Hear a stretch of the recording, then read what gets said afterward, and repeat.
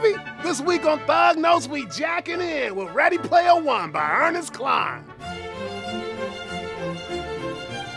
It's the year 2040 and everything fucking sucks. I'm talking famine, poverty, an energy crisis up the ass, wars. I could go on, player. To escape this whacked out world, everybody live in a VR game called the Oasis. You can do anything up in here.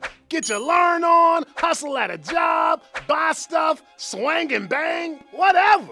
Everyone up on that daily grind when the creator of the Oasis, a 10-figure baller named James Halliday, takes that long dirt nap and drops a video message on all the players. Brothers say he hid an Easter egg in the Oasis, and the first cat that nabs three keys that unlocks it gets all his fat stacks. Woo! Money! For the next five years, homies busting ass trying to find them keys and get on a big ass scoreboard. These peeps called Gunters, and they wild about the 80s and everything Halliday. Ain't nobody find shit till our 18 year old narrator Wade step up and crack the first clue. Woo! See, Wade come from the hood, so he's straight obsessed with getting Halliday's cash monies.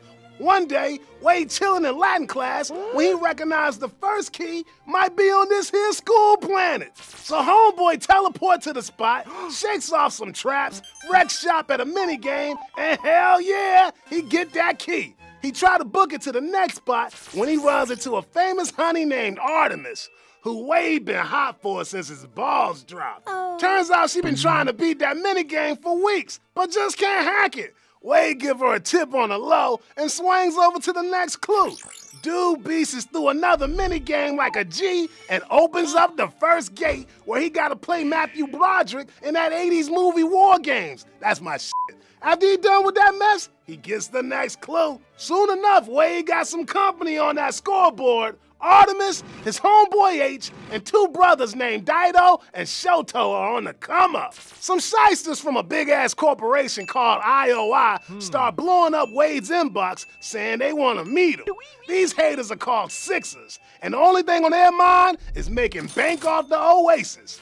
Wade decides he want to meet the top dog, Sorrento, who offers Wade some mad grands to start playing for their team. When Wade say, nah, bruh, I'm straight, Sorrento say they know where he live and they gonna blow it to hell. Since Wade's real body is in his hideout, he just shake that hater off.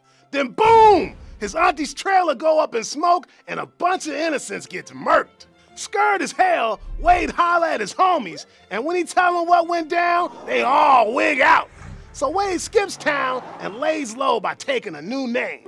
While he trying to crack the next clue, the Sixers try to ice him, and he gets his woo on with Artemis. But brother moving a little too fast, so oh. Artemis gotta shut him down.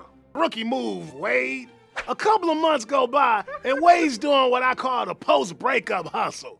Work out, stay busy, and buy a sex doll. What else do you need?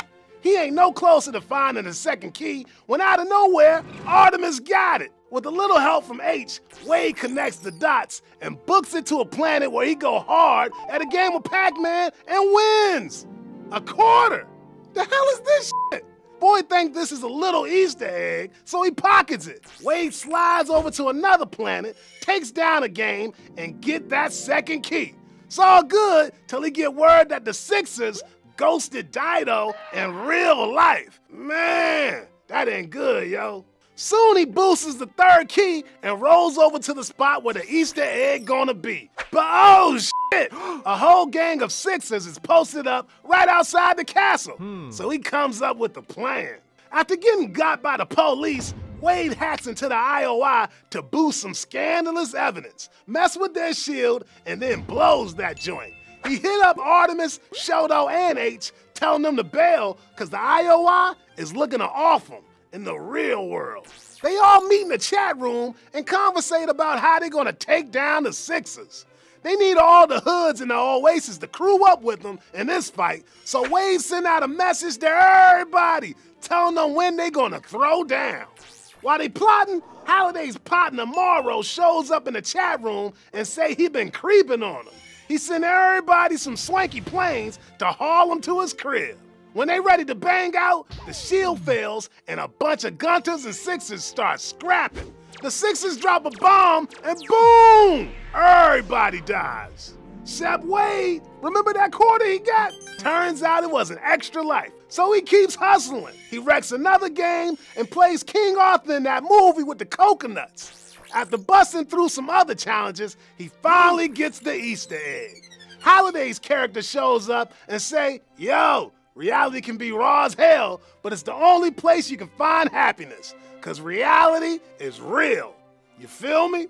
Sorrento gets thrown in the clink, and Wade gonna share his fat check with his homies. Then Wade and Artemis hook up in the real world and finally kiss. Aw, yeah. If there's one thing this book always going on about, it's escaping from the horrible bullshit in your life. I mean, everybody's lives are so damn shitty that they all hold up inside a video game. The game don't just give them a different world, but one that let people shine and live life on the easy. It ain't just people getting their marbles off by losing themselves in another world, but also by losing themselves in the past. Everybody in this book always geeked up about the 80s and shit. From Pac-Man and a young Matty B, nah, not that one, to Monty Python, but no Run DMC. Man, that's some bullshit. If your head always living in the past, how you gonna create new ideas, man? How you supposed to fully live? Truth is, sometimes by trying to escape one trap, people actually end up creating another one. I'd come to see my rig for what it was, an elaborate contraption for deceiving my senses, to allow me to live in a world that didn't exist. Each component of my rig was a bar in the cell where I had willingly imprisoned myself. In real life, I was nothing but an antisocial hermit. I was just another sad, lost, lonely soul wasting his life on a glorified video game. So is this kind of future technology banging or busted?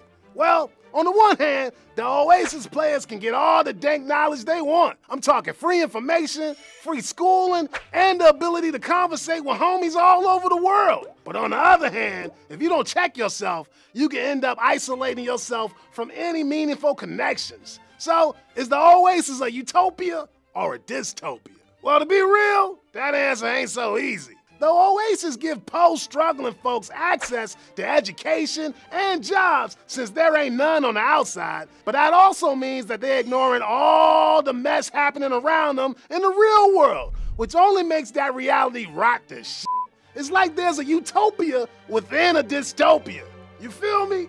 In the real world, Wade ain't got no friends, no Benjamins, and no respect. But in the Oasis, dude got a solid rep a nice cash flow, and a loyal crew. I mean, just check this. One sec, Wade jabbering about how horrible is. Things used to be awesome, but now they're kind of terrifying. Human civilization is in decline. Some people even say it's collapsing. Then he started talking up his life like it's all Titan shit. Luckily, I had access to the Oasis, which was like having an escape hatch into a better reality. It was my playground and my preschool, a magical place where anything was possible. The Oasis is the setting of all my happiest childhood memories. So is escape the answer to living in a jacked up world? Is it better to kick back and live a decent life in a fake world or be on a struggle in reality? Maybe we should spend time caring for our reality and make it the place to be rather than just giving up and piecing out to somewhere else.